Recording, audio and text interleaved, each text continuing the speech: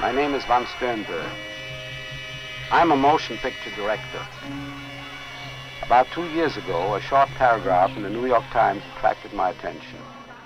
All it said was that our Navy had returned to Japan a handful of men who held out for six years after the war was over.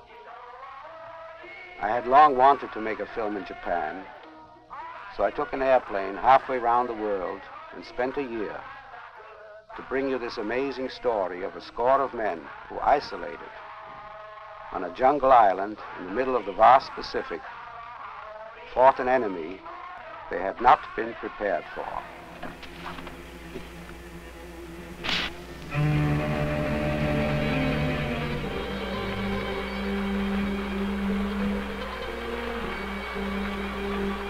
Proceeded to make this film.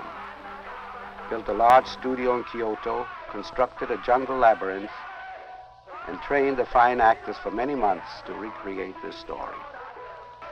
When you come to see this film, this theater will be transformed into a tropical island, a boiling test tube for emotions which most of us, fortunately, are rarely called upon to display.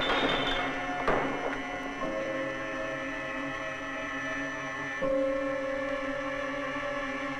you